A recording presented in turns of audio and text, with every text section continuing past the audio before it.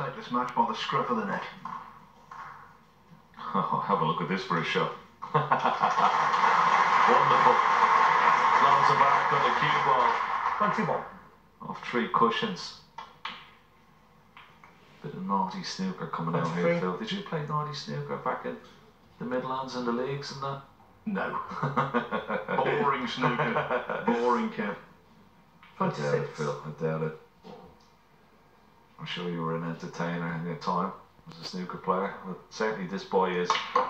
And there's another bit of 30. entertainment. Where's the blue going to go?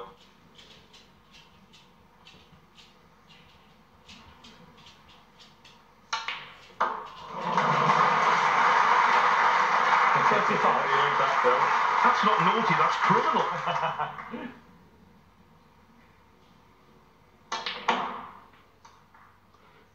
Forty-one. Pick a pocket, Phil. Pick a pocket. Isn't it something? And Johnson then just done. breaks a six